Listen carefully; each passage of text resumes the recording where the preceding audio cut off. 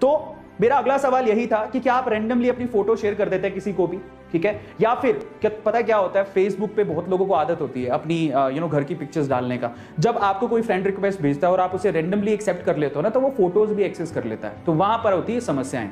अगला सवाल देखिए नेक्स्ट क्वेश्चन ये है कि क्या आप लोग इंटीमेट फ़ोटोज़ या वीडियोज़ भी शेयर करते हैं? तो जैसे जैसे मैंने सवाल पूछे आपसे तो मुझे लगता है कि धीरे धीरे करके लोग यू नो कम होते चले जाएँगे लेकिन एक बंच ऑफ़ पीपल ऐसे होंगे जो कि ये काम करते होंगे और यहीं से समस्या पैदा होती है।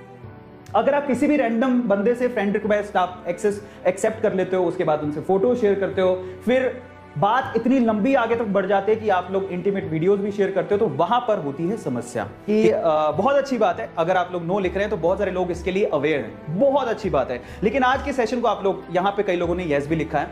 लेकिन आज के सेशन को अगर आप ध्यान से देखेंगे तो अगली बार ऐसा कुछ भी होता है तो आप लोग और ज़्यादा सचेत रहेंगे और आप लोगों को हमेशा ये ध्यान रहेगा कि हाँ अरविंद सर ने बताया था ए टू मोटिवेशन में डिस्कस किया गया था कि अभी तक तो हमने नहीं किया और आगे भी ये गलती कभी नहीं करनी है ठीक है?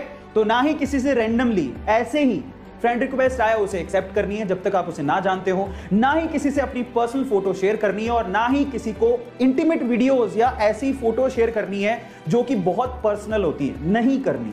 अब इसके बारे में पेरेंट्स बात नहीं करने वाले। अगर आप पेरेंट्स को जाके पूछोगे मतलब क्या ही बताऊँ। बहुत अच्छी बात है, अगर आपके पेरेंट्स ऐसे हैं जो कि खुले दिमाग के हैं तो वो आपसे डिस्कशन करते हैं तो ऐसा करना चाहिए। लेकिन थोड़ा है नहीं कंजर्वेटिव माहौल है बट फिर भी जिनके पेरेंट्स ऐसे हैं, जो कि इस बात को समझते हैं कि बच्चों, बच्चे फंस नहीं जाए, उससे पहले उनसे बात कर ली जाए तो वो बहुत अच्छी बात है।